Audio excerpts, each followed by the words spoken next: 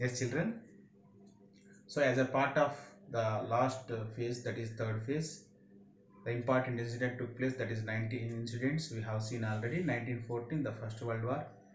The 1915, uh, Gandhi uh, returning back to India. That is 1869, October 2nd, Gandhiji's birth.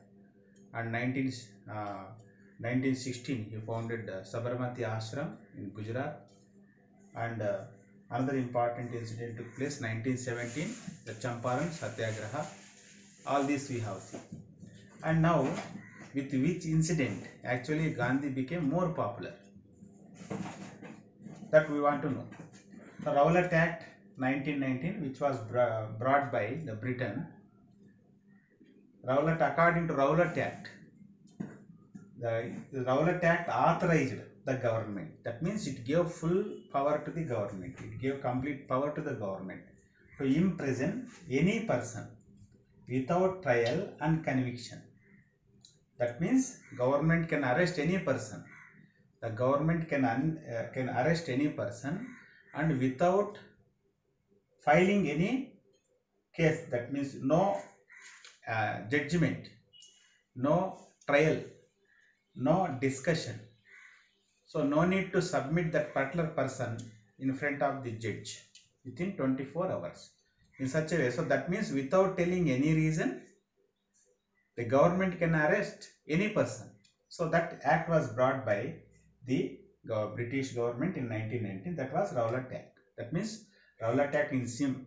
How do we how do we tell the Rowlatt Act means in a simple way means the government can uh, arrest any person without reason and they can keep in prison. So, no judgment and no discussion. Such things actually happen according to Rowlatt Act, which was passed in 1990. So, whenever that act was brought, so many important leaders who protested against that act, some of are arrested. That is Dr. Saifuddin Kichlu,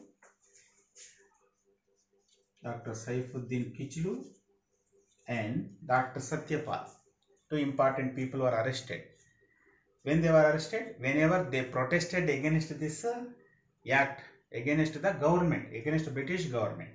So whenever these people were arrested, against that, in order to protest that, in order to criticize that, April 13, 1919, all that nearly 10,000 Indians met at Jallian Wala Bagh. Jallian Wala Bagh. That is Punjab. Where it is in a, it is in Jallian Wala Bagh is in Punjab. So April 13, 1919, nearly 10,000 Indians met at the place called a garden called Jallian Wala Bagh. The garden which was actually closed all sides with walls and there is only a entrance only one entrance there for that total garden. So that was Jallianwala Bagh and whenever these people met in order to show their protest eh, against this uh, arrest of uh, Saifuddin Kichlu and Satyapal April 13 1919 a British officer called General Dyer. General Dyer uh, whenever he visited that uh, place called Jallianwala Bagh and he announced the killing that is shoot at sight orders against these people the people who met the people who assembled there. Okay? So the people who assembled there and whenever there was no way to escape from that area so nearly that is the thousands of people died in that incident. So whenever the british soldiers started shooting against all the people so there was no other way. There is no way there was no way to escape from that garden. So nearly more than 1000 people died in that incident. So many were wounded in that incident. So so it's a black letters day in indian history. What was that? Jallianwala bagh massacre. The incident in which most of the indians that means particularly thousands of people thousands of indians died was responsible for that. General o dyer was responsible. So after this incident so many. The indians they showed protest against the british act of uh, killing these many people. Even Rabindranath Tagore also he take uh, he gave back.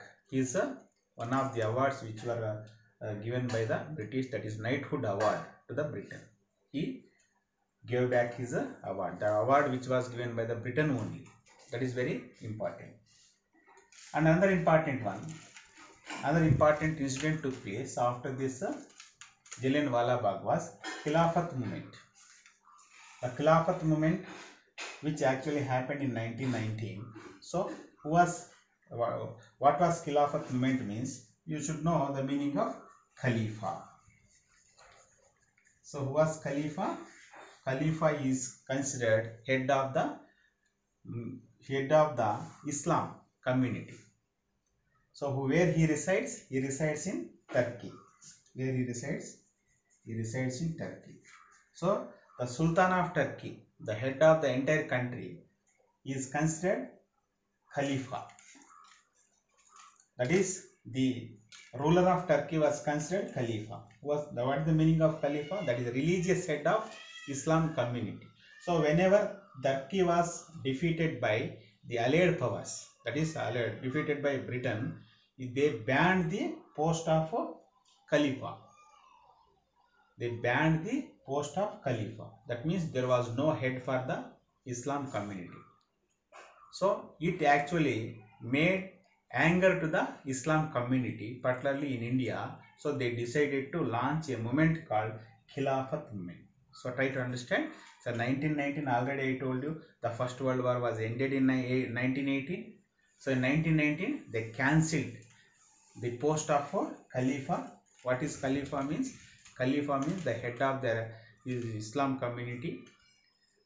That is, he is considered Khalifa. Who is considered Khalifa means the head of that is the Turkey Sultan is considered the uh, considered as Khalifa.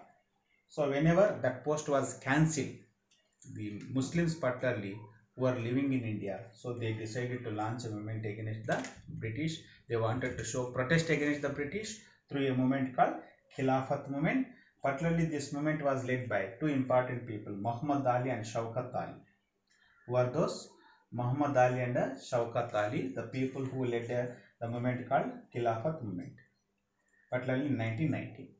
So even Mahatma Gandhi also extended his complete cooperation to the Khilafat movement and uh, in 1920 he decided to launch another movement called non-cooperation